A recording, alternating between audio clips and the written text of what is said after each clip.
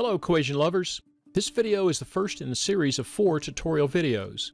In these videos, we'll show the basics of using MathType and how to work with Word documents. If you're new to MathType, viewing these four videos will take very little time, but will save you much time in the future because you'll understand MathType better. The level of math in some of the tutorials may be much more advanced than the math you deal with every day, but don't worry. You should continue through the tutorials anyway, because the techniques you'll learn here in order to work through the advanced math will be exactly the same techniques you'll use at any level.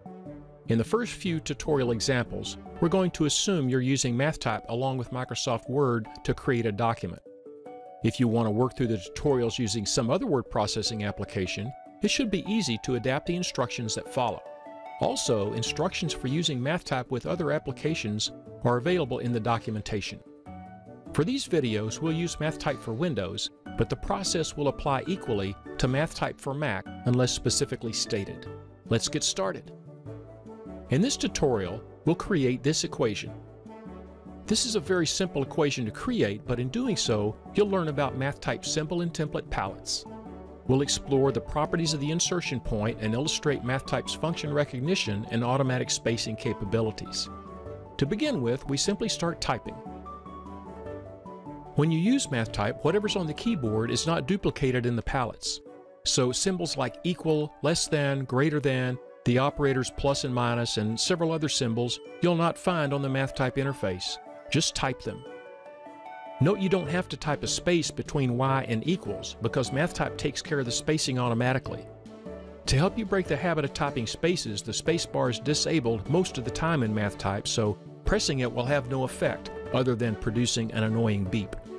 Also, notice the y has been made italic, but the equal sign has not.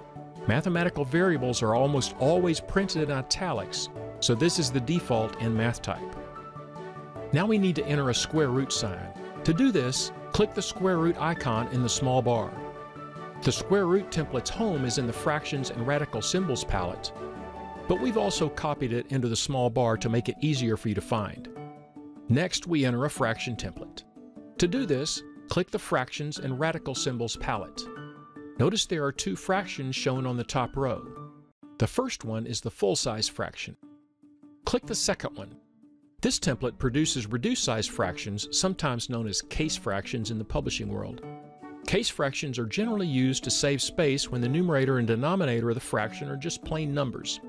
Be careful not to choose the larger of the two fraction templates because this would create a full-size fraction which is too large for our equation. Notice how MathType automatically expands the size of the square root sign to accommodate the fraction. Also notice the insertion point, identified by the flashing cursor, is in the numerator or the upper slot of the fraction template. This is a general rule in MathType. When you insert a template, the insertion point is placed into the primary slot of that template, so there's no need to click inside one of the slots. Just begin typing or adding other symbols or templates. Notice something else here. As you hold the mouse pointer over symbols and templates or palette buttons, the name of what's beneath the mouse pointer is displayed in the status bar at the bottom of the MathType window. This will help you make sure you pick the correct template. If there's a shortcut key associated with the symbol or template, the shortcut key is shown as well. Type the numerator, then press Tab and type the denominator. Next we need to add sine X outside the square root sign, and to do this, we have to get the insertion point into the correct position in the hierarchy of slots that make up the equation. If you repeatedly press the Tab key, you can make the insertion point cycle through all the slots in the formula. If you hold down the Shift key while you do this, the insertion point will cycle through the slots in the reverse direction. There are two ways to know at what level the insertion point is located.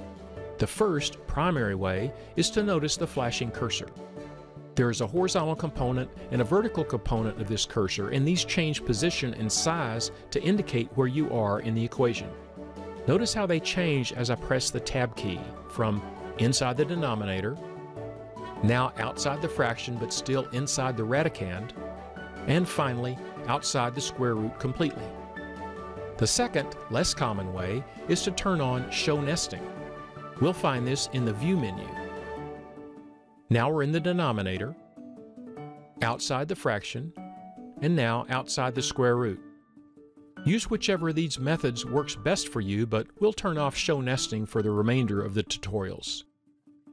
I'll type sine x now, and as I type slowly, watch what happens.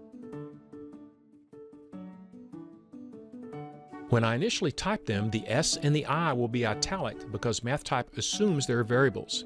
However, as soon as I type the N, MathType recognizes SIN is an abbreviation for the sine function.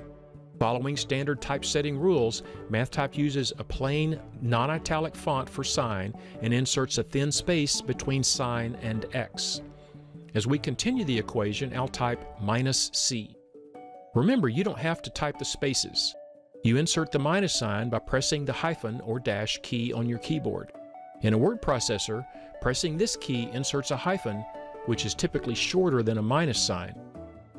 However, since hyphens are very uncommon in mathematics, as long as you're in math style, MathType replaces hyphens with minus signs for you.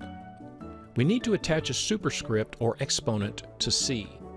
To do this, click the superscript template in the small bar. Note this is on the small bar for convenience, but the normal place to find superscripts and subscripts is in this palette. We'll type 2 into the superscript and press Tab to exit the superscript template. Like most everything else we've inserted so far, the plus minus symbol is on the small bar. There's a full palette for operator symbols though, and you'll also find the symbol there. Choose the mu symbol from the lowercase Greek letters palette. This is the second palette from the right in the row of symbol palettes, which is on the top row of MathType. Let's finish the formula by typing tangent x. Again, notice MathType uses plain instead of italic type for the tangent function and puts thin spaces on either side of it. Now we're finished. The equation looks pretty nice if I say so myself. In this video, we've seen MathType's symbol and template palettes, automatic spacing, function recognition, and the status bar. We hope the video's been useful to you. Check out the other videos in this playlist, there's a link at the end, or better yet, subscribe to our channel so you'll always be aware of new content.